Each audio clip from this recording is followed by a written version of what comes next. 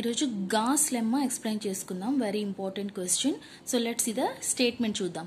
If f of x belongs to Z of x be a primitive polynomial then f of x is reducible over Q if and only if f of x is reducible over Z first statement explanation చూద్దాము. F of x belongs to Z of x అంటే f of ఎక్స్లో ఉండే questions అనేవి integers అనమాట so be a primitive polynomial primitive polynomial definition ప్రకారం content వచ్చేసి one so content of the questions is one అంటే LCM of the questions is one then f of x is reducible over Q reducible means what ఈ reducible అంటే ఏంటి?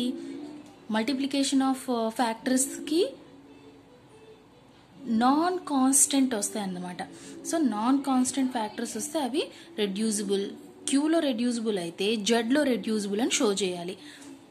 ఫో proof చూద్దాం. Let f of x belongs to Z of x be a primitive polynomial suppose that f of x is reducible over Q so f of x reducible అని తీసుకొని f of Z prove చేస్తాం. అలాగే reducible over Z తీసుకొని queue queue prove చేస్తాం. ఎందుకంటే if and only if condition కాబట్టి.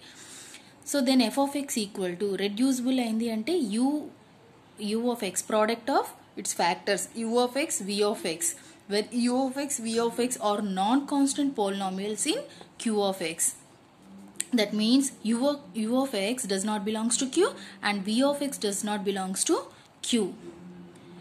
So ఇవన్నీ queue అంటే rational numbers rational number form ఏంటి?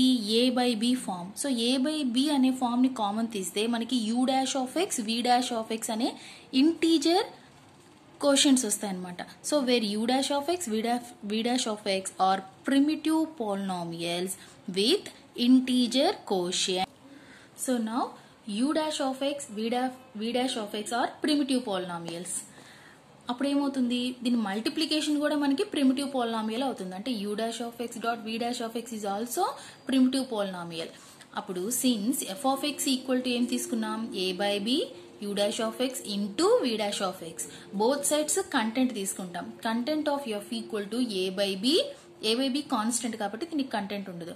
So content of u dash of x into v dash of x so u u dash of x v dash of x primitive polynomial అంటే దీని content one అవుతుంది.